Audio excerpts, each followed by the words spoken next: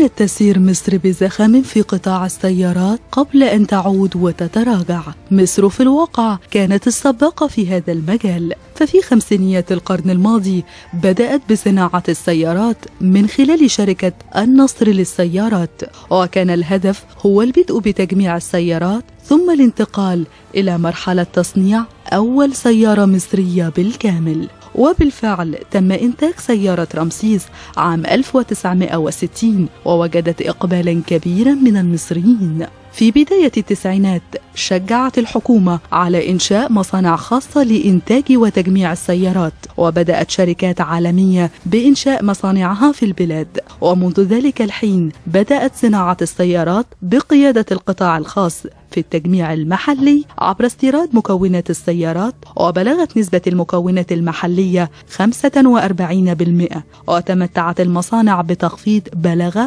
30% على جمارك المكونات المستوردة. صناعة السيارات ومكوناتها تعد أحد أهم الملفات التي تتولاها الوزارة. هذا هو أول تصريح يشتبك به وزير التجارة والصناعة المهندس عمرو نصار مع ملف صناعة السيارات بعدما نشرت بعض وسائل الإعلام نافية ما أثير حول إلغاء استراتيجية صناعة السيارات. صناعة السيارات ومكوناتها تعد أحد أهم الملفات التي تتولاها الوزارة. هذا هو أول تصريح يشتبك به وزير التجارة والصناعة المهندس عمرو نصار مع ملف صناعة السيارات بعدما نشرت بعض وسائل الإعلام نافية ما أثير حول إلغاء استراتيجية صناعة السيارات. خلفية الوزير عمرو نصار تجعله في نظر العاملين بسوق السيارات الوزير الذي جاء لحل مشكلات صناعة السيارات حيث جاء من إحدى شركات صناعة السيارات والتي انفردت بتصدير أول شحنة أتوبيسات مصرية إلى إنجلترا. وقبل تكليف عمرو نصار بحقيبة وزارة التجارة والصناعة كان الوزير السابق طارق قبيل قد كلف مكتب ألماني بالعمل على كتابة الاستراتيجية لكنه وعد أن ينتهي المكتب من مهمته خلال نوفمبر الماضي. ثم عدل وعوده بأن ينتهي خلال النصف الأول من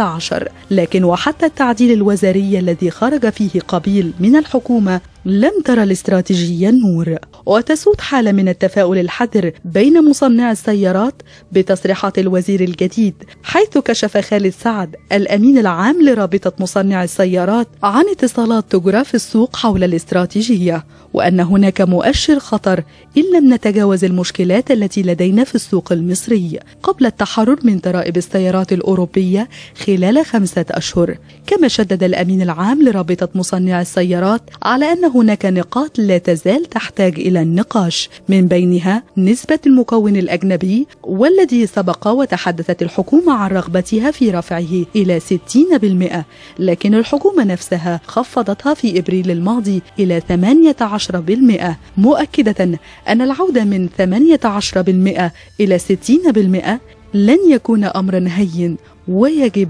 أن يناقش جيدا. نشوى عبد العاطي. مساء دريم.